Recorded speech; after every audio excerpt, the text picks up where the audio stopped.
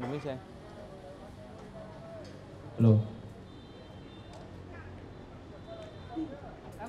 Vâng, xin chào toàn thể quý khán giả đã có mặt ở sân bóng Hasiko trong buổi chiều ngày hôm nay. Và mọi thứ cũng đã sẵn sàng và hiệp 1 của chúng ta bắt đầu với quyền dòng trước dành cho cao thủ của đội bóng Esmen. Cơ hội lên bóng dành cho thủ Esmen, cơ hội vào! Bàn thắng mở điểm đã đến rất sớm với cao thủ của trường quốc tế Đại học Quốc gia Hà Nội và đó là pha lập công đến từ số 4 Việt Tùng. Một tình huống tấn công chớp nhoáng và Asico họ đã để lộ ra quá nhiều khoảng trống ở phòng ngự của mình và bàn thắng mở điểm đã tới và tỷ số là 1-0 dành cho cao thủ Eastman.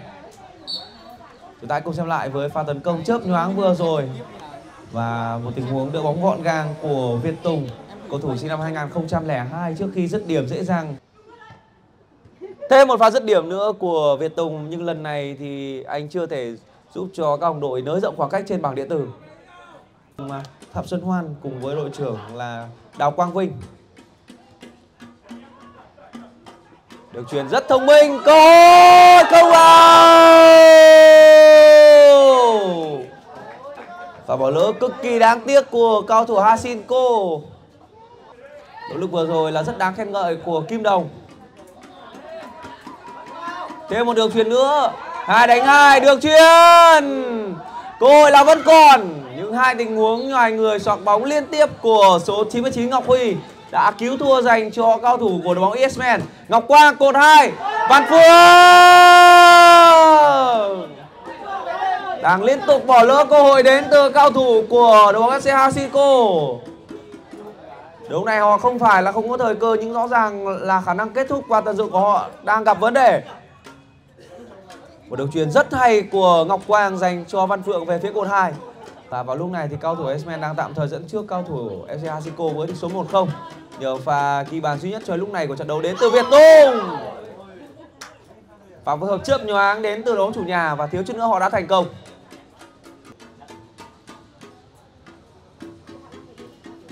Trả ngược tuyến hai Phản sự chân rất nhanh đến từ đội trưởng Ngọc Quang.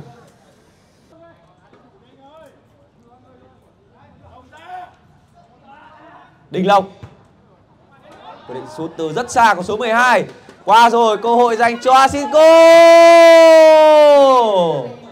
Nhưng đó lại là một tình huống bỏ lỡ đến từ tiền đạo mang áo số 35 của đội bóng áo vàng.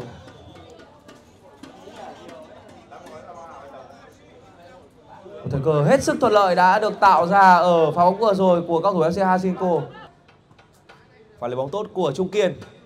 Cố gắng thực hiện một tình huống phản công nhanh đáy biên cơ hội vào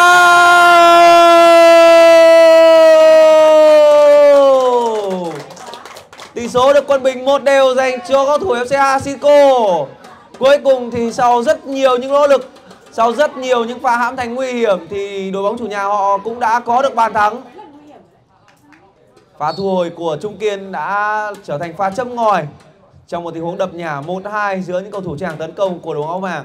Mạnh Hùng đã băng ra và đó là thời cơ hoàn hảo để cho chân sút áo số 35 bên phía đội bóng chủ nhà dứt điểm dễ dàng, làm tung mảnh lưới của Eastman ở trong trận đấu ngày hôm nay và tỷ số là một đều. Trận đấu đã trở về với thế quân bình trong những phút cuối của hiệp 1 này. Bây giờ thì X-Men đang gặp khó khăn trong việc lên bóng ở sân nhà. Văn Phượng trả ngược tuyến 2. Đình Vũ cơ hội. Cú đá lên trời của Đinh Vũ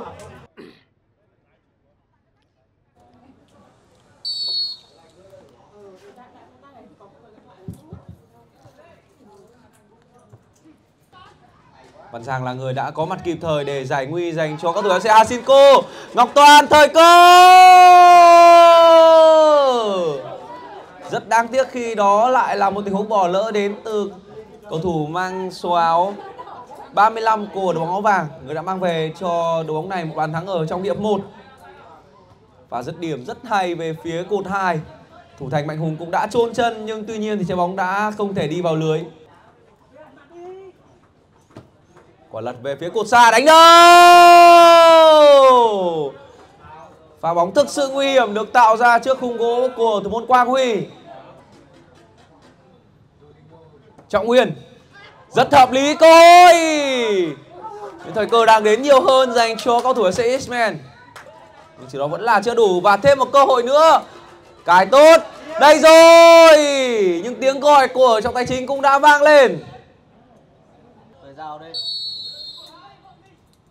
Ngọc Quang sẽ là người thực hiện tình huống đá phạt này. Cú định đá ngay đến từ số 7 Nhưng thêm lần nữa mà cú đá của anh không vượt qua được rất Tiếp tục là quả tạt. Đánh đâu? Và bằng cắt dứt điểm của Ngọc Toàn. Khoảng trống mênh mông ở phía cột hai Sau đường truyền của Ngọc Quang. Đã có những sự chệch choạc ngang phòng ngự của đội bóng SCS Men và thiếu chút nữa thì họ đã phải nhận bàn thua thứ hai. Nếu như tình huống đánh đầu này của Văn Giang vẫn là một tình huống thoát đi thành công đến từ Văn Giang Nguy hiểm quá cơ hội Và những cơ hội vẫn chỉ là những cơ hội mà thôi Một tình huống mà quá nhiều không gian, quá nhiều thời gian để ngắm nghía và căn chỉnh cho cú đá vừa rồi nhưng Văn Phượng lại tung ra một cú đá quá hiền và không thể đánh bại Mạnh Hùng. Bóng về dành cho các thủ Asico. Rồi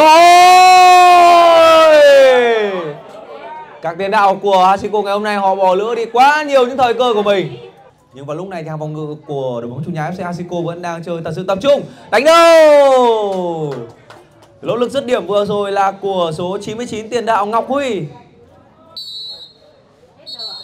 Và đúng lúc này thì tiếng còi khép lại trận đấu đầu tiên của trọng tài chính cũng đã vang lên. Và như vậy là hai đội bóng FC Hachiko và cao thủ FC Esmen họ sẽ cùng chia nhau mỗi đội một điểm với tỷ số hòa một đều. Những người vượt lên từ sớm là cao thủ FC Men với bàn thắng của Việt Tùng. Nhưng sau đó thì Hasinko họ có được bàn gỡ hòa của số 35 Ngọc Toàn trong những phút cuối của hiệp 1.